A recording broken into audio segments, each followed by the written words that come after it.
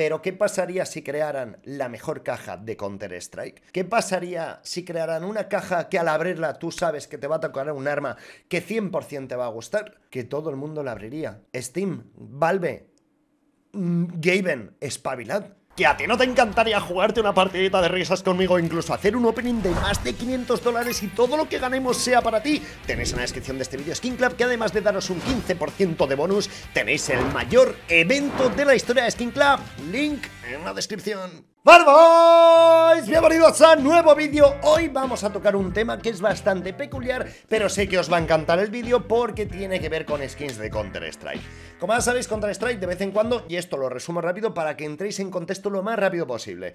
Counter-Strike saca operaciones cada 2-3 meses que viene una caja nueva con un montón de armas. Las cajas tienen entre 15 y 18 armas. De esas 15, a todo el mundo nos encantan dos y hay dos o tres más que no están mal, lo que quiere decir que hay 10 armas que del tirón dices, qué asco. ¿Por qué Counter-Strike no mete mejores armas en todo? Es decir, ¿por qué no hay una azul que a todo el mundo nos encante y nos gustaría tener?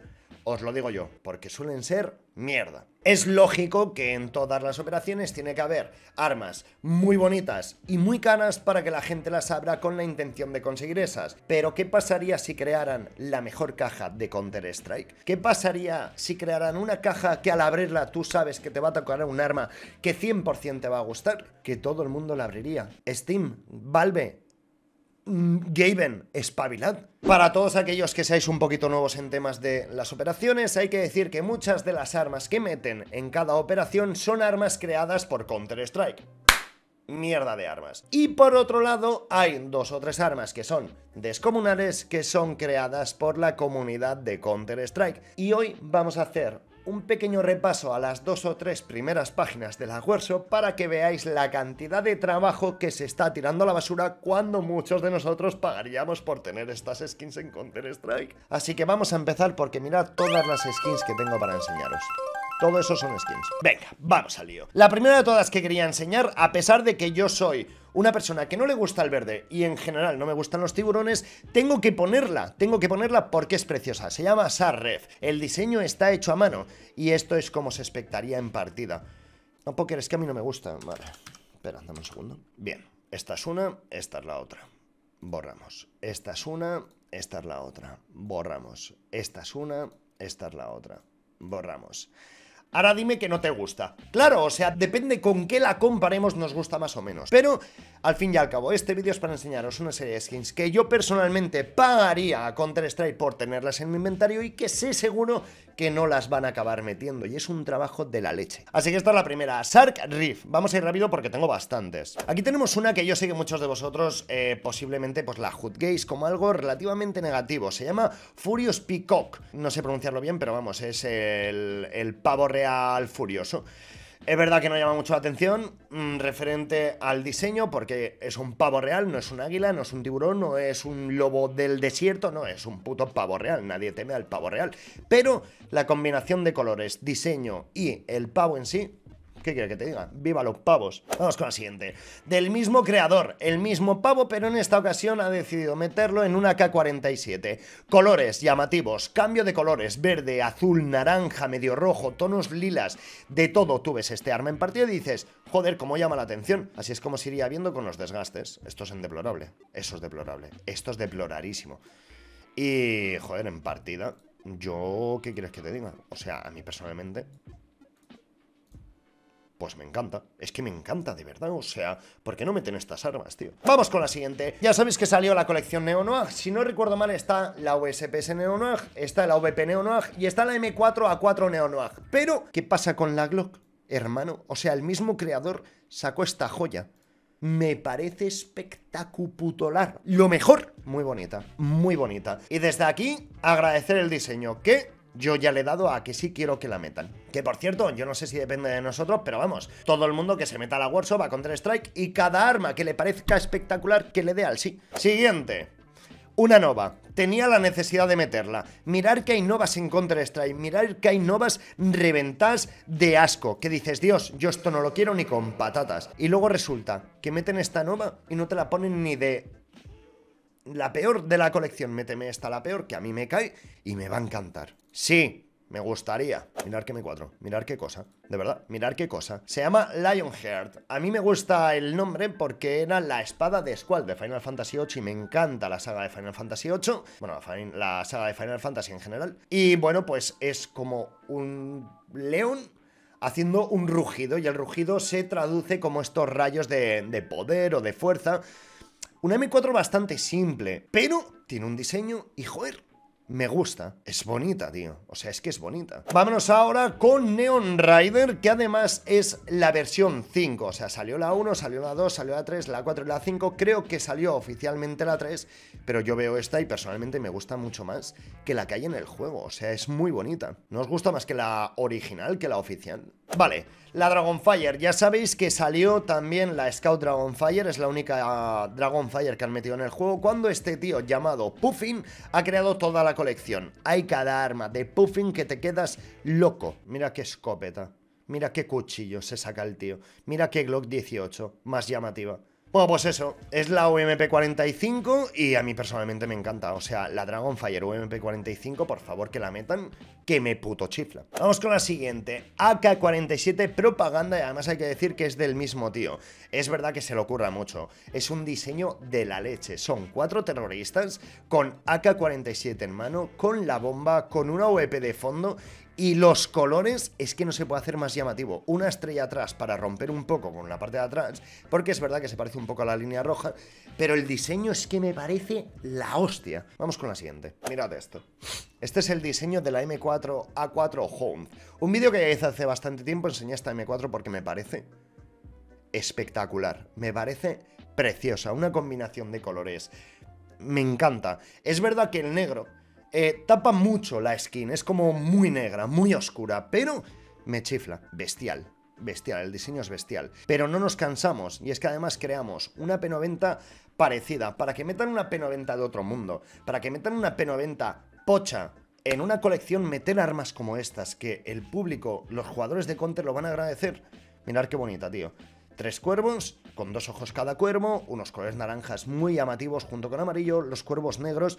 Me parece una P90 espectacular, me parece muy bonita, tío. Vamos con la siguiente. Para todos aquellos amantes de los tiburones, una de Serigel, se llama Orochi. Y es esta cosita que estáis viendo. Es en plan como un poco de anime, no es tan realista, no tiene un diseño súper real. Y tenemos como...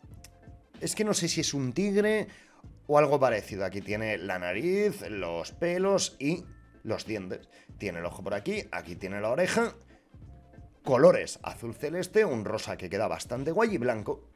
Pa' dentro, bonita. Aquí he empezado a ver ya armas que eran completamente distintas a lo que habitualmente vemos, pero no dejaban de llamarme la atención. Yo no soy partidario de meter muchas skins de pipas porque ya hay un montón y hay muchas feas, pero el meter esta cosa tan sutil, tan simple y tan bonita a la vez, hace que muchas armas que ya existen, que son mierda, podían ser sustituidas.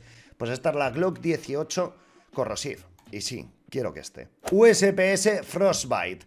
La he metido porque hay un montón de USPS que son bastante pochas. Es verdad que no tendría que meterme con USPS porque en general no estamos mal. Está la Orion, que es una naranja y negra bonita. Está la USPS Kill Confirmed, muerte confirmada, roja. Está la Neonoag, es decir, hay bastantes USPS bonitas. La Zaires, hay un montón. Pero azul, eléctrico, como con rayos no hay ninguna.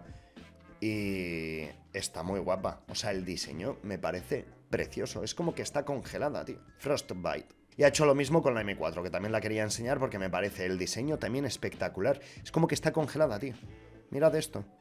En partida, además, no se ve mal, se ve bien, llamativa. Vamos con la siguiente, M4 a 1 s Sketch V3 Paper Collection, de la colección de Paper. Cuando la aspectamos vemos esto, es una especie de Hyperbeast o Hyperbeast, como lo llamáis, pero con unos colores distintos completamente. A mí me gusta mucho, me gusta mucho esta M4. AK-47 Hyperbestia. Todos conocemos la colección Hyperbestia. Está la Nova, está la Phi 7, está el AVP, está la M4A1S, pero falta el AK. Y para el AK creo este diseño, que bueno, el día que la metan... Zasca, pa' casa. Y sí, quiero que esté, por supuesto. USPS Hypervis. Esta la crearon para la colección de CS20, lo que quiere decir que ya nunca la van a meter a no ser de que el creador pues cambie esto. El diseño es espectacular. Es que el diseño es espectacular. Mirad qué bonita, tío. Qué bonita y qué simple. Vamos con una un poquito menos llamativa, pero que no tendrían por qué meterla como en las rojas. Esto puede ser una M4 perfectamente azul y sin embargo a mí no me importaría que me cayera. Me parece bonita, tío. Se llama Overlord, pero al ser M4 sabemos que nunca la meterán como azul. ¿Por qué? Porque consideran que pierden. De AUG recordamos que está la Camaleón, la Tigre de Bengala y poquito más. ¿Nos parece esta espectacular, tío? ¿Nos parece unos colores de la leche? A pesar de que luego el diseño, digamos, ¿qué es? Pues bueno, claramente es otro pavo real. Viva los pavos pero no tiene ninguna cara, ningún ojo ni nada, solo tiene la cola del pavo real. Tío, me gusta, es bonita, tío. Aquí he cogido dos que son del mismo creador, se llama Wardens Pearlescent y lo mismo para la de Serigel, Wardens Pearlescent. ¿Qué tenemos en este AK? Tenemos unos colores que cuando especteas en partida brillan de locos y además, depende en qué estado nos la dé, brilla más o menos. Mirad cuando recargas. Me parece espectacular, tío. Y mirar que soy muy de siempre, no, cuanto más llamativa mejor. A ver, tiene una especie de serpientes a la par que tiene una especie de colores de menos vivo a más vivo hacia la punta, unos azules, unos verdes, unos morados, unos rosas súper llamativos al final. Me encanta, te lo juro, el diseño me encanta y los colores me chiflan. Mirad qué bonita, tío. ¿Por qué no la meten, tío? ¿Por qué no la meten? Meterla, tío. Mira cómo cambia de color. Es la mejor skin de la historia. M4. Esta la he elegido. Sé que los diseños no son los más llamativos del mundo.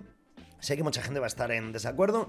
Pero ¿dónde está la M4 rosa que todo el mundo quiere también? No, es que rosa es para chica. Bueno, me suba la polla, yo. Tiene que estar. Díselo a Pide. Pide, ¿cuál es tu color favorito? El rosa. ¿Ves? El, rosa mola también. ¿Qué pasa? Que no es nada llamativa. Yo sé que, bueno, la he puesto porque sé que hay mucha gente que dice, tío, ¿cuándo una skin de M4 rosa? No existe, no hay. Pero tengo una sorpresa para vosotros en este vídeo. Jurado. Y aquí está. No hemos tardado mucho. Madre mía, se me han puesto los penes durísimos. Es verdad que si queríamos rosa, esto es lo normal. Rosa, morado, púrpura. Y a mí personalmente... Es como, joder, me gusta, pero hay algo que no, no sé el que, no sé lo que no acaba de convencerme. Me gusta, me gusta, o sea, me gustaría que la metieran. Me habría gustado más fotos también dentro de la partida, pero vamos a darla que sí, que la metan, por favor. Vamos con la siguiente, mirad esto.